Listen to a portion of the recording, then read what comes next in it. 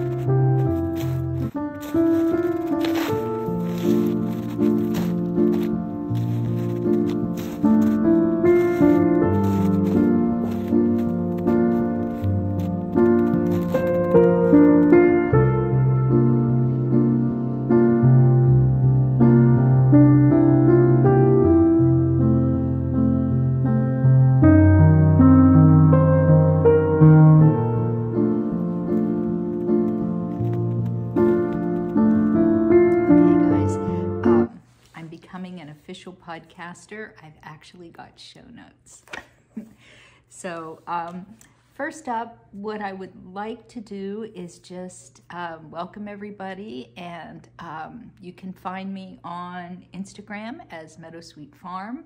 You can find me on Ravelry as capital F, capital A, capital D, capital S, and that stands for Fiber Arts Design Studio. Uh, you can find me on Facebook and you can find me on Etsy as Meadowsweet Farm Fiber Arts Design Studio. So, um, I would like to start off by thanking everybody who participated in the the new to you make along 20, the new to you uh, 2021 MAL and uh, we ended that February 14th and we picked, um, well, everybody that was a host picked their choice, and then um, they picked a grand prize winner. And the grand prize winner gets a little gift from all of the hosts. And I think there were like 13 or 14 hosts. So um, that person will receive like 13 or 14 gifts. Um, and that winner was Carrie Ann Smith. So Carrie Ann, I haven't sent your gift yet because um, I'm still in the process of making you something special. So as soon as I get that finished, I'll put that in the mail to you. And then the woman that I picked, she goes by Ruthie Two Shoes on Instagram. And I picked hers because she made the most beautiful color work hot water bottle cover. Oh my gosh, it was gorgeous. It was like an off-white and red, and it was just, it was so beautiful. So uh, thanks to everybody for participating. I really appreciate it. It was really a lot of fun.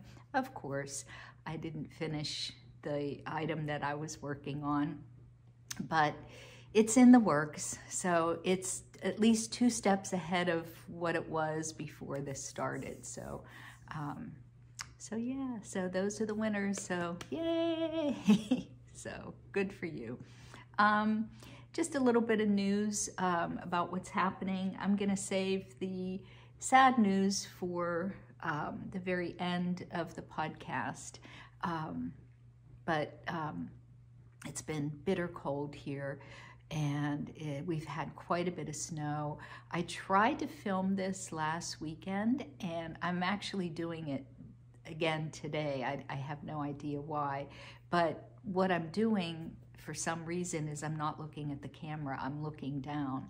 And I filmed a whole thing last Sunday and I barely looked at the camera.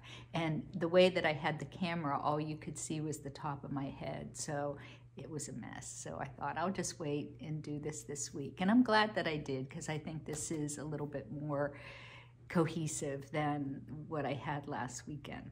So, um, but the weather has just been horrendous. and we've had snow, we've had ice, we've had a ton of snow.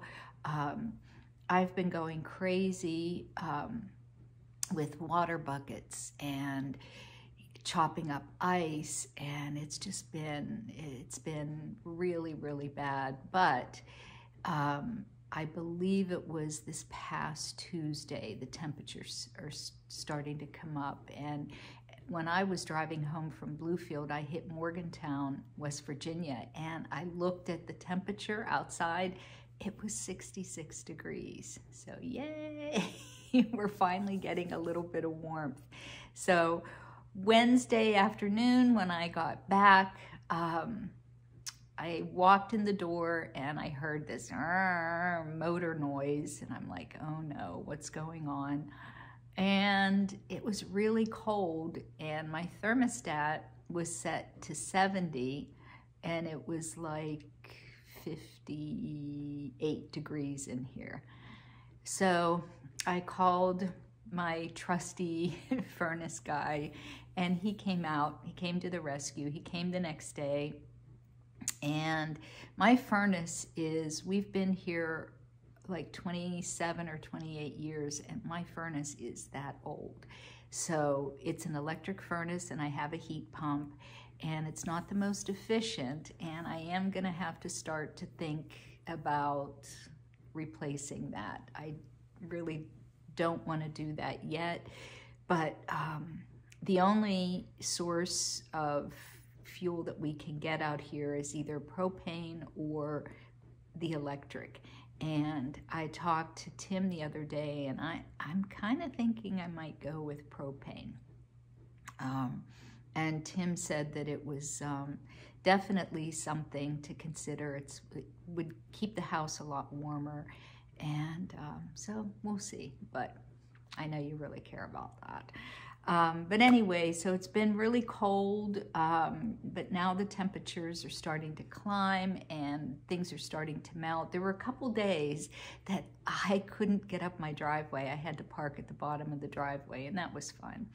So anyway, that's what's been going on. And like I said, I have um, a little bit of sadness that happened here at the farm, and I'll share that with you towards the end of, of the podcast. So um, if you don't want to hear sadness, you don't have to listen once we get through the knitting stuff. So um, let's see. Um, I want to say hi to my mom. Hi, mom. I had my first vaccination. Uh, it's probably been about three weeks ago, and I think I'm due for my next vaccination this week. They send you a something in my email, so I should get a notice when to, to go to the nurse to get the next vaccination. And it really wasn't too bad. Uh, my arm was sore for like a couple days, it hurt, but other than that, I didn't have any symptoms or I didn't feel sick or anything like that. Um, so um, I'll get the second shot and I'll be I'll be all clear. I did have a notice from the health center last week that before I went to campus, I had to get um, tested. So uh, they just did a nasal swab test, and I guess I was exposed to someone at some point on campus that uh, tested positive, and I tested negative, but I was not allowed on campus until um, I was free and clear. So it was uh, the rapid test, and I just sat at the health center for about 15 minutes, and they came out and said, You're negative. So back on my merry way. so, but I am doing a lot of my classes, especially with my um, online classes, I'm doing Zooms, and oh my gosh, they're great. They are amazing, and the the screen share, oh gosh it's wonderful. Which I want to tell you about this because this is so amazing. Things that happen from such tragedy, what really, that's my washing machine, uh, if you can hear that. What, um, what has happened is we were forced to use the technology that we've had all this time. We've been forced to to implement it in ways that we've never done before. And it's, it's just been pretty awesome for me. Um, first of all, I signed up for two classes at Glens, Glenstone Farms. Um, and this is um, a weaving, it's a fiber art studio in eastern Pennsylvania. And it's uh, Tom um, Knisely is the, um, um, I guess he and his daughter are running this um, weaving studio. It's weaving, spinning, knitting, felting, it's everything. And he's put a lot of his classes on Zoom.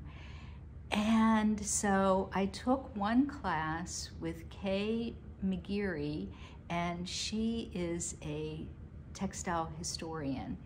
And she's also um, a uh, American coverlet expert. She weaves coverlets and she analyzes coverlets and uh, the fringe and all that. And it was wonderful. It was a, I think it was last Monday or the Monday before that. It was from seven to nine. It was great. It was wonderful.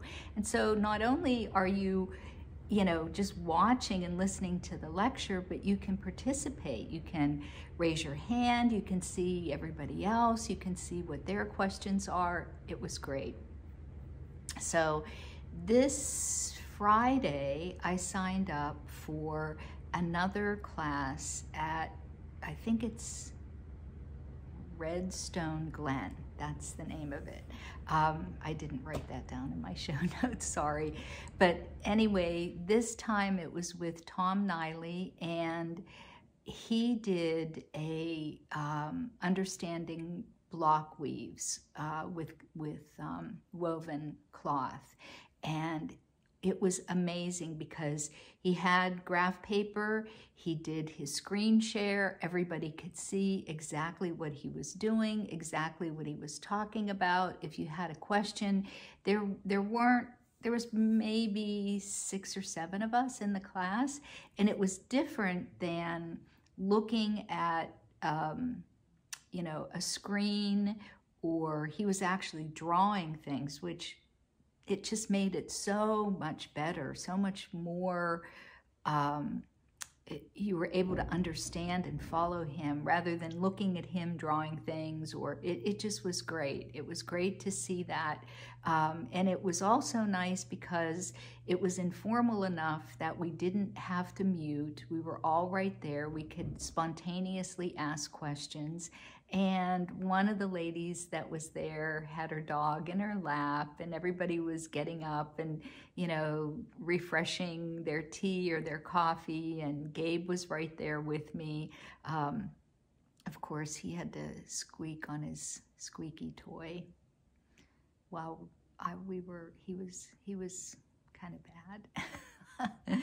so I had to take the toy away from him. Um, which he did a couple other things that I'll share with you. We didn't, we were kind, I was not speaking to him for a minute.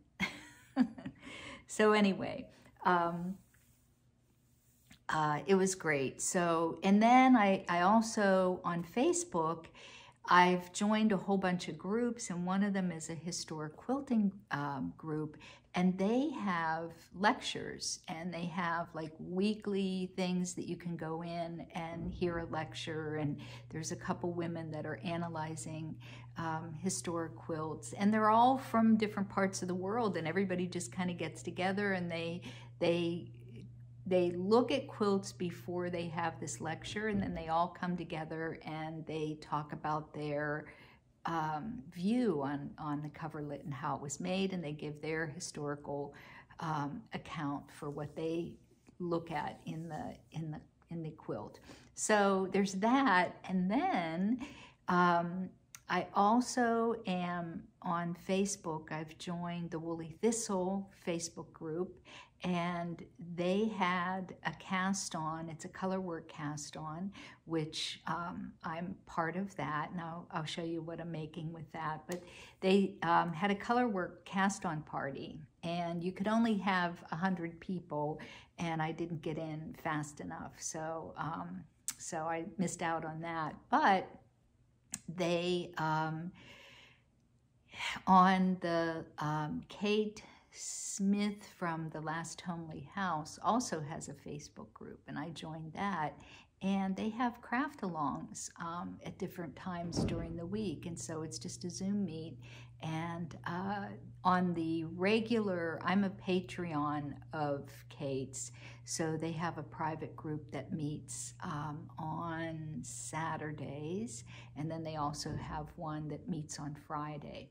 So it this has just been great, and I started. Well, I'll sh I'll share that with you as I go to my um, works in progress. So that's what's been going on in my life. Um, I've been doing a lot of zooming myself with my courses, and I've also been um, watching a lot of Zooms and participating um, with Zooms as well. And the uh, New to You 2021 uh, Make Along, they had a Zoom meeting for anybody that wanted to join. And so I participated in that a couple Fridays ago. So it's just really been fun, um, even though we can't get out. The beauty of it is, is that with my schedule and me driving back and forth the way I do, when I'm home, I really don't want to get in the car and drive. I don't want to go to a hotel. And these classes on Zoom, I think we will forever have them because if somebody has a class that normally would be limited to, say, like 15 people, now we can do Zoom and you can have as many people as you can accommodate on Zoom, which I think is 100. So you get so many more people participating in workshops and classes and it's just so much more economical. You know you don't have to drive you don't have to go to a hotel you can sit with your dog and you know participate in these classes. So it's it's really been fun. And on the one that I participated in, the block one on Friday, there was a woman from, um, she lives right outside of Tazewell, which isn't far from Bluefield State College, and she's a weaver. So uh, it's just really been great, really been fun. So, um, okay. So the only other thing, as far as me goes, I know it's me, me, um, is I'm redecorating uh, my bedroom, my master bedroom in my house. And I think I'm going to go with like an off-white and a red. And so, and I'm going to redo the flooring up on the second floor. So what I really want is, that's carpeted up there now, I really, really want a painted wood floor. And I want it, you know, historically, when they would build um, houses, and this house is built to look like an 1840s Pennsylvania farmhouse. And usually the first floor had the nice hardwood and all the nice trim and nice fireplace mantles and everything. But then the second floor had, you know, a lesser grade of wood on the floor. And it that's what I want. I want it to be authentic in that way.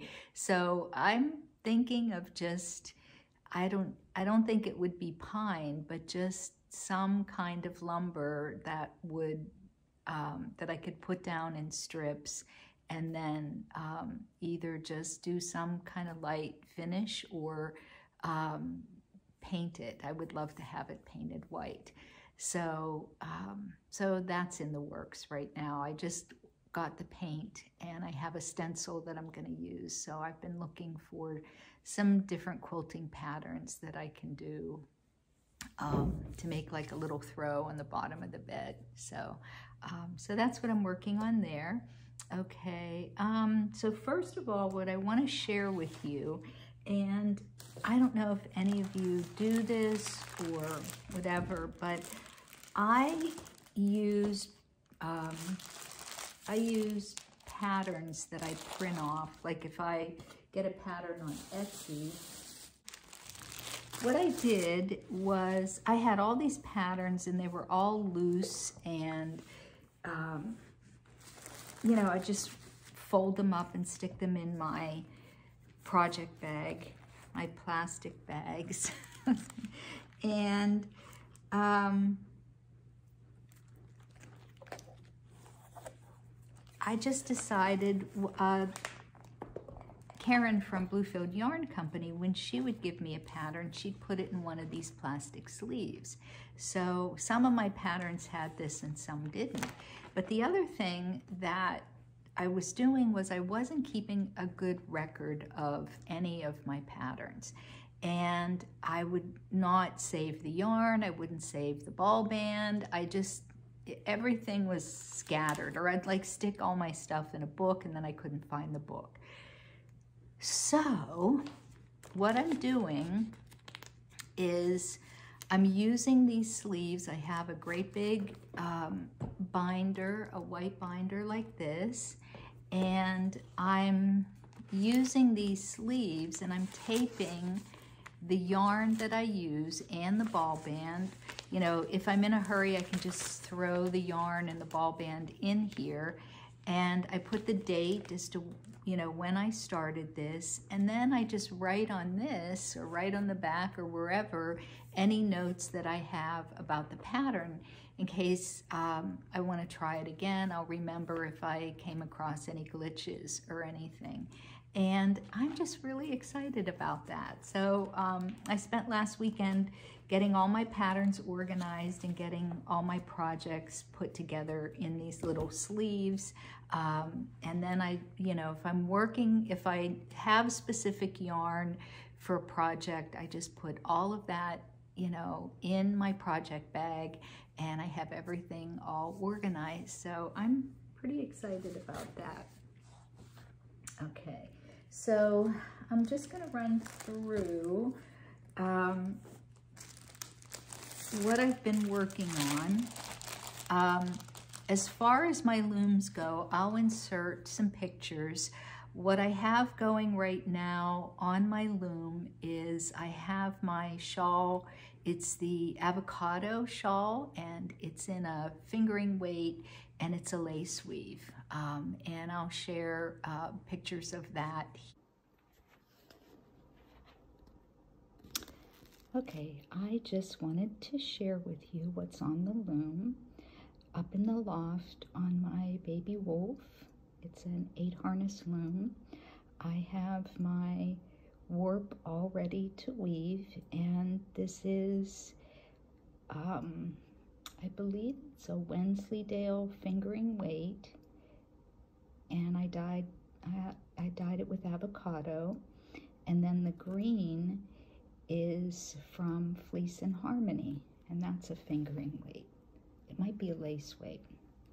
But anyway, there's the Fleece and Harmony. And here is the Wensleydale avocado dye. And I'm gonna do a little bit of um, uh, stitching here in the beginning. And then I'm gonna alternate tiny strips or stripes with the green and just do a couple rows of alternating the green and the avocado and then the rest of it will be the avocado and then I'll end with the stripes again. So that's my plan with you. And the other thing that I don't have on the loom, but I did put on a warp is for my, um, I'm doing some table runners and this is gonna be in a um, profile draft. So it's a red and white. It's really, really pretty. So it's uh, designed by, I think Madelyn van der Hoogt designed this weaving project. Okay, I just wanted to show you what I have on my warping board. So it's what's on the loom, what's on the warping board, it keeps on rotating. So anyway, this is a 10 over 2 cotton warp. There are 13 yards on this warping board and I am going to probably use a 20 over 2 for my tabby weft and a 3 over 2 in red for the pattern. And once I get this on the loom, I'll share all this with you and I'll explain everything. But for now, um, I am going to finish the shawl this coming weekend and then I am going to put this on the loom. And when I get to this point, I'll share with you how I calculate my yardage, how I uh, put all the warping threads on the warping board, and then how I thread the loom and get started weaving. So I will share that with you in an up and coming video, probably the next one I post. But I, I will show you the warp and things like that, but I'm gonna do a separate video and I'm gonna walk you through my process of um, warping the loom from, you know, designing the warp to all of the steps that I take and then the final step of weaving. So I'll share that with you in an up and coming video. This is my um, stillness shawl and this is from um, Curious Handmade, um, Helen Stewart, and I am almost done. So I have um, I have like two more rows of this brown to do, and then I have um, this pink to do and then to bind off and I'm finished. So I'm really loving this. I love the yarn. I absolutely love working on this pattern. I'm up to over 500 stitches, so it is taking me a little bit of time um, and um, to get through one row. But I kind of slowed down a little bit because I didn't, I was having so much fun with it, I didn't want to stop knitting. So, um, so yeah, I, I'm uh, really enjoying this. This was really fun. So I was at a craft show in Wytheville, Virginia, um, couple, well, not this past summer, but the summer before that. There was a lady that she upcycled a sweater and turned it into a bag.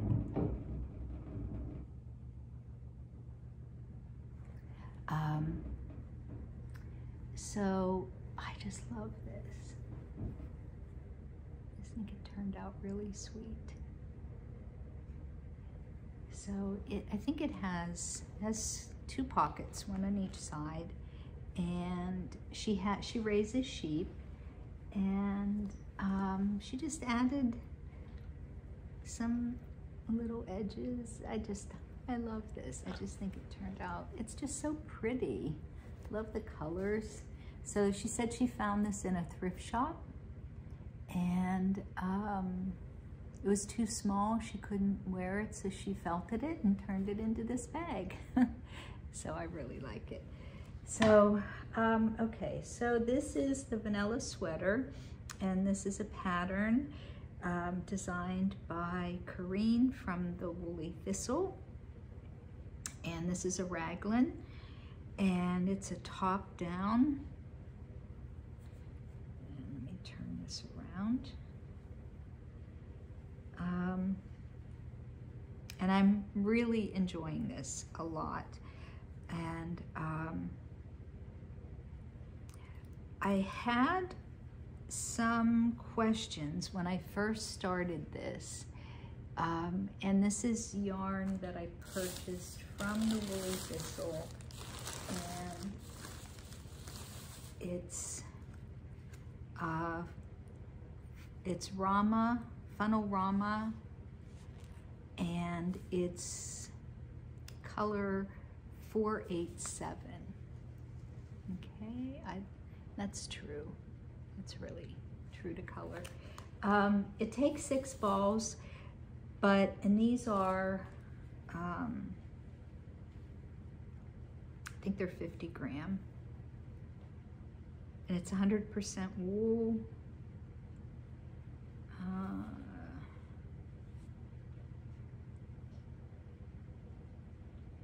pretty sure they're 50 gram. Yes, 50 gram, 50 gram. Um, but I ordered an extra one. I noticed um, that a lot of people, their sleeves were um, shorter, and I like my sleeves really long. so, um, but anyway, um, when I was starting out, I, I got kind of confused about placement and increases to do the um, uh, raglan area. And there was somebody on, there was a gal, Karen, hi Karen, on Facebook on the Woolly Thistle Facebook page, and she posted a picture of her vanilla sweater that's done in this gorgeous red. Oh my gosh, it's so pretty. And so um, she had it, it was hanging from a tree, and the snow was in the background with this beautiful red, red yarn. and It's the Rauma um, from the Woolly Thistle. And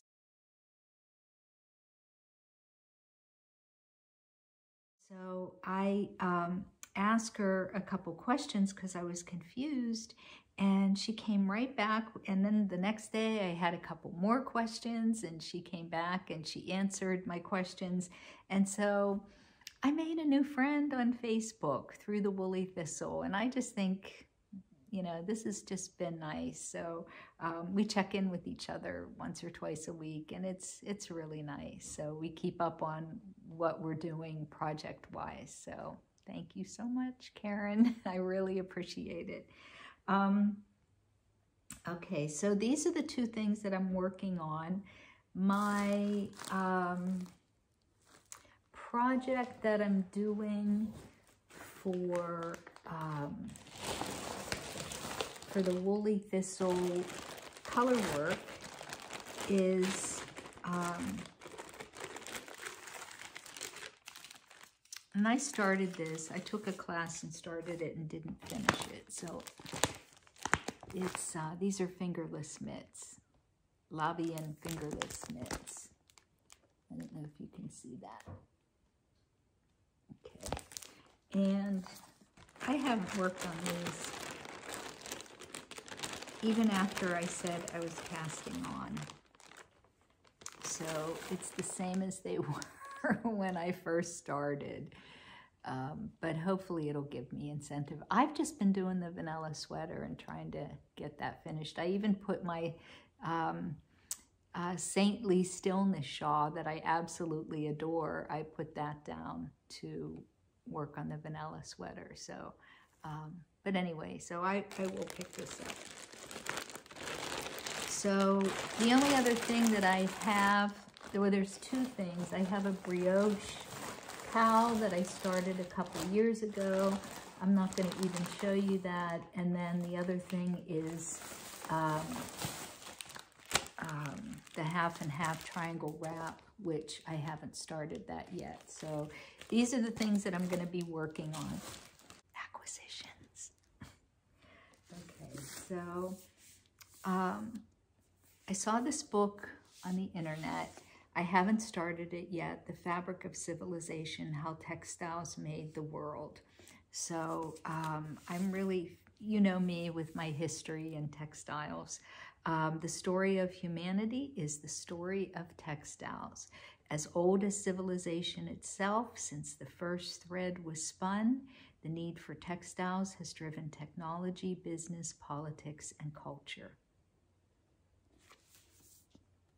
So this I'm going to start reading. I'm up for tenure, um, and all of my paperwork is due the 1st of April. So that's kind of consuming me at the moment. Plus, I'm on a couple committees. Uh, and so I, I, the only sanity that I have is my knitting. So as soon as I have a little bit of spare time, I, um, I work on that. So this will probably be after I get all my schoolwork stuff done. Um, this book I bought, um, I'm really wanting to do some designs on my own. And I did them on the knitting machine years ago, but I really want to try to do some knitted stitches and, you know, maybe follow a pattern, but add some of my own design elements. So this is just like I could just sit and look at this book forever. So I'll be practicing my stitches here. Um, this is a book that was recommended by Corrine from the Woolly Thistle, and this is Top Down Sweater Design. She is amazing. This book, if you want to do your own designs, this book you have to have and add to your library. She takes you through I mean, even if you look at a sweater and you're working on a pattern that you purchased and you're like, wow, my body doesn't fit this sweater, it tells you how to make those alterations. You just follow along. And this, let me see if I can find it, is something I'm definitely going to do. Um,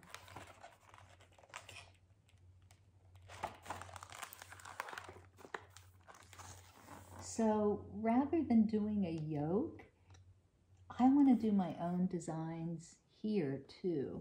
And there is a, um, there's a computer program that you can actually do your own designs. I think it might be for embroidery or cross stitch and you can do it for color work too. But rather than doing a yoke, you can do this and just do two little front panels. You don't even have to do the back. So this book is just such a great book to have. It's really, really amazing. And I'm really looking forward to practicing and learning from this book. Um, I want to see what other books that Ann Budd has. It's Ann Budd is the author. And I've heard so many wonderful things about her. I've seen some videos on um, the um, um,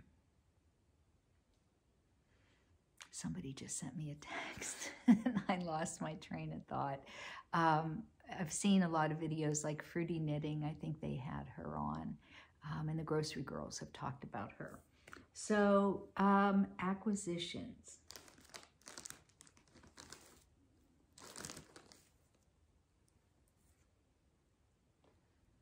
This is why I was upset with Gabe. This is Emma's yarn and it's September 2020 and September is my birthday and I bought this to make myself something for my birthday and I was in the process of trying to find it has like a tiny little speckle of red in there and um, I was trying, I was going to do a shawl and I was going to have like this, the top part, and then a lace bottom in this red. And he chewed like a hunk of it straight through. So I think I can save it. I have it in a circle like this and I pulled out most of the threads that he chewed. So now I'm just I'll get it untangled. It's just going to take me a while. But this is all the pieces that are tied together. I looked on the internet to see if I could find some more of this, and I haven't been able to. So if anybody finds the September 2020 Emma sock yarn, eh, please let me know ASAP. So then I'll still untangle this, but I just don't have very good luck with um, with this in knitting. You know, you have to keep breaking and breaking. So, um, but anyway, um, so, okay, um, I stopped at the Bluefield Yarn Company. It's a dangerous place, very dangerous. Um, but I got this. I'm making Steven some socks, and um, this comes with the directions on how to measure, but I think this might be a really good thing for me because rather than, you know, once I get his measurements, then I can, I can work on this. So, um, okay, so yarn. I have fallen in love. Oh, he also chewed this. He didn't do it quite as bad. Um, it was kind of messed up, but this he got a hold of as well. Um, but this is Emma's yarn, and um, this is called...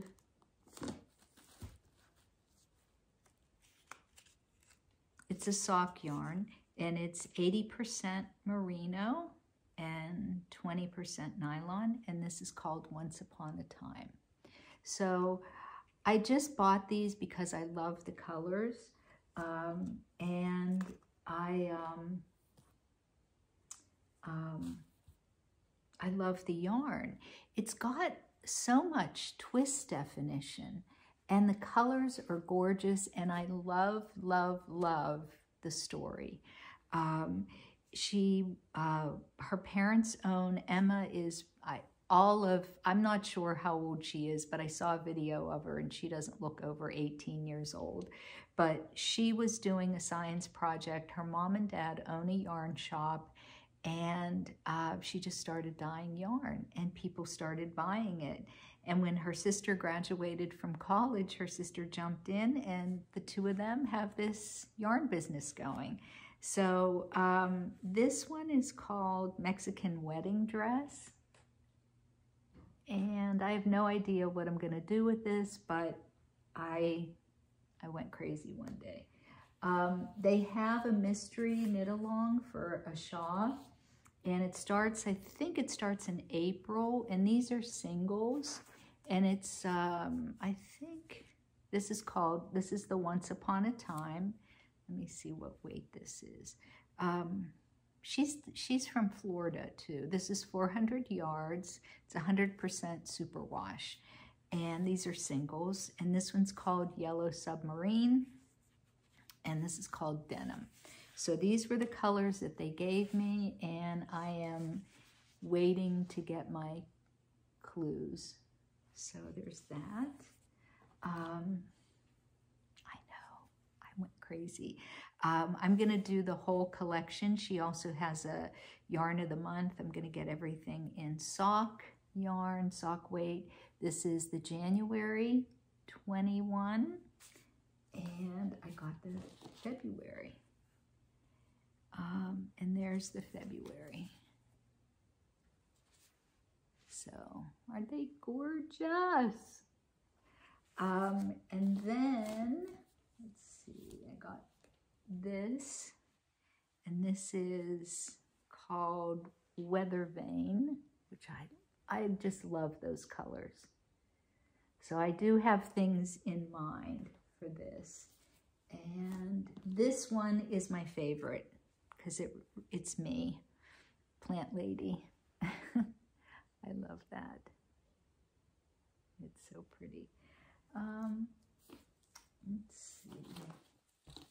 And this one, um, I got this one, Drops of Juniper, because I thought those two would look good together. Um, think that's it. That's it. Um, oh, oh, oh, oh, oh, oh. The only other thing is I placed an order I love watching uh, Cabin Boy Knits. And he just launched his website um, about two weeks ago. So I just had to buy, he does hand-dyed yarn, and I just had to buy his bag. Look how big that is. That's ginormous. So I finally got a big project bag for myself. And um, I got this. This is a uh, merino and it's a worsted and um, it's a greenish blue. It's been dyed in indigo and this has been dyed with cannabis leaves. so I thought I had to I had to buy that. Okay, and then this one, I, I just absolutely love this color. This is a DK Merino, and he dyed this with white spruce. And I have all the pine trees on my farm, so I was really excited to, um, to get that.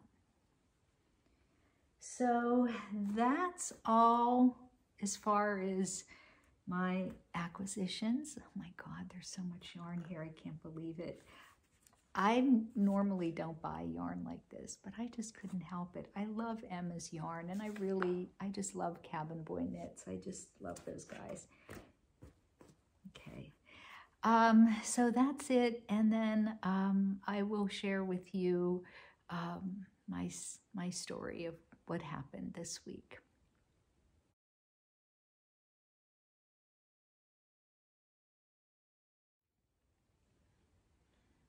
Um, so I have three horses, and um, all three are rescue.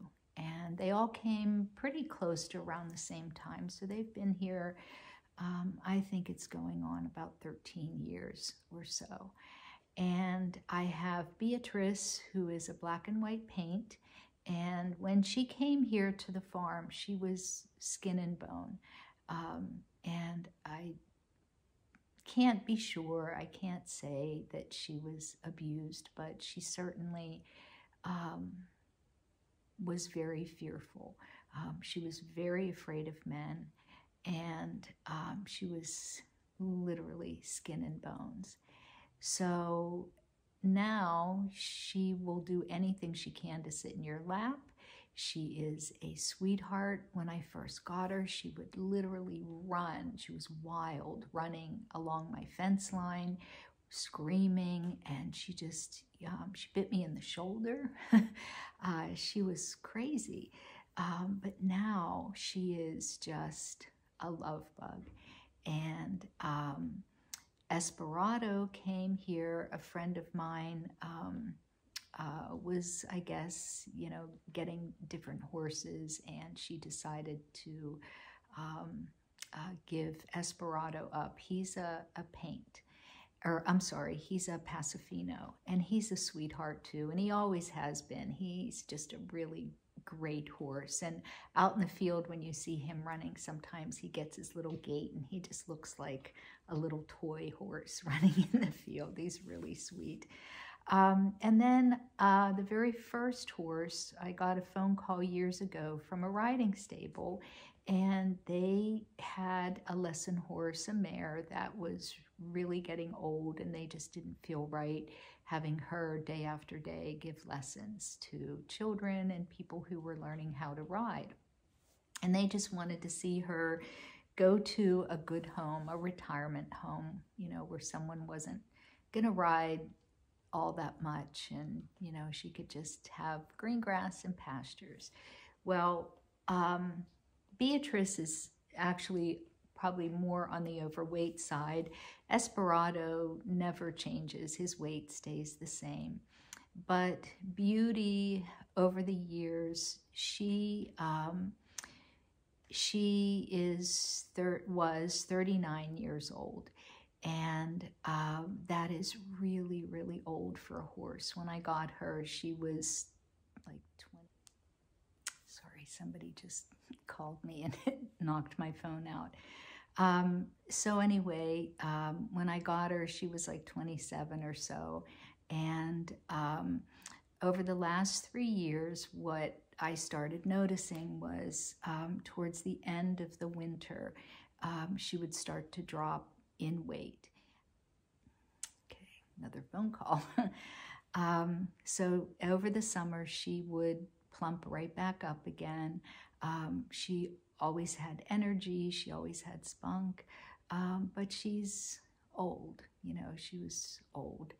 And um, so um, over the last couple weeks, um, I noticed that she was just slowing down quite a bit and um, it's always in the back. My horses and my animals are, you know, like children. They're like my kids. They're always they're always here. You know, I'm always thinking, what do I have to do next for them? You know, you just do. They're a part of your life, and you, you know, take on this responsibility to care for these animals. And, um, you know, I don't take it lightly. I'm, you know, I'm a very protective um, parent when it comes to horses and kids.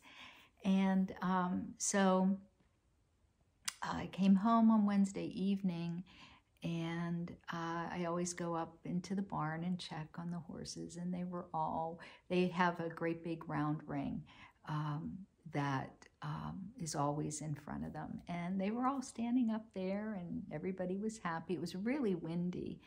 And um, then um, Thursday morning, I went up to feed. And normally, when I uh, even open up the door to go to the barn, Beauty is always calling and she's nickering or giving me some sign. And um, I didn't hear that. And um, so I went up in the barn and she was laying, I had a just a big kind of area filled with hay and um, she was looked like she just laid down and just peacefully um, passed away. So um, it was a pretty traumatic um, event. Um, you know, I've had her for uh, quite some time, and um, I knew that I knew that her time was coming close. I knew every day. I knew I would go up there and just almost hold my breath, and then I'd hear her calling me, and I knew everything was okay. Um, so it wasn't a surprise. Um, and she did have, you know, a beautiful life here. She was not asked to ride. Um, she grazed in great pasture. She had hay in front of her. She had treats. She was very well taken care of um, but it still leaves that hole in your heart. Um, and I, I miss her. Um, so um, uh, I promised her when she came here to the farm that she would always have a home here. And so I buried her in the pasture under her favorite tree, and she is the matriarch of this farm, of those pastures. Um, and she still has her home here, um, an eternal home here on this farm. So um, I know it's a part of owning animals that you have to accept um, this kind of thing, but it still doesn't help. so, um, so I just wanted to share that with you. Um, so, well, I think this is it. I hate to end on a sad note. Um, I've got to try to see if I can untangle this. Um, and I hope you all are well. I hope you have a great week coming up. And um, probably the next video I'll do is one um, of me showing you some, some weaving techniques and some things that I'm working on on the looms. So um, I hope everybody is safe and happy and warm. And um, bye for now. Take care, everybody. Bye bye.